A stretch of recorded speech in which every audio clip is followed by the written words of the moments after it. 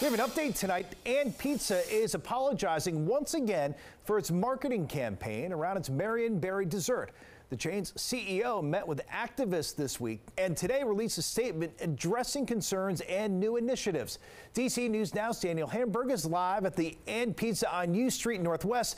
And Daniel, tonight you spoke to those activists who initiated last week's boycott.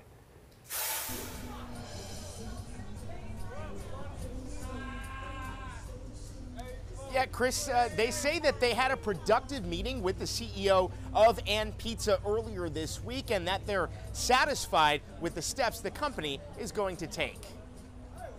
We could have made plenty of jokes on Marion Barry it didn't have to be about crack. And Pizza's campaign for Marion Berry knots angered many Washingtonians last week with its focus on drug references and innuendos, making fun of the Mayor for Life's drug use in 1990. Not in D.C. Absolutely. Not in D.C. The Not in D.C. coalition formed and launched a boycott until CEO Mike Burns finally apologized two days later. A group of good people came together to use their voice to address something that the majority of the community thought was out of touch. After Burns met with the coalition, and Pizza released a statement Thursday saying, quote, we take full accountability for our misstep and wholeheartedly apologize to Mrs. Cora Masters Barry and to those we let down. It goes on to outline some of its commitments, including establishing partnerships with minority owned businesses to help them grow, creating an internship program for local high school and HBCU students, diversity training, and contributions to racial justice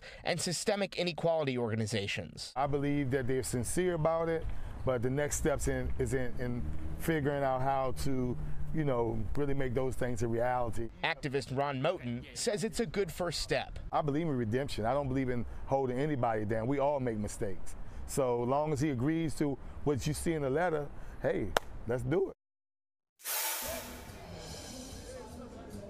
The company says they are going to work each and every day to earn back trust. They say they have to do better, and they will. We're live in Northwest. Daniel Hamburg, DC News Now.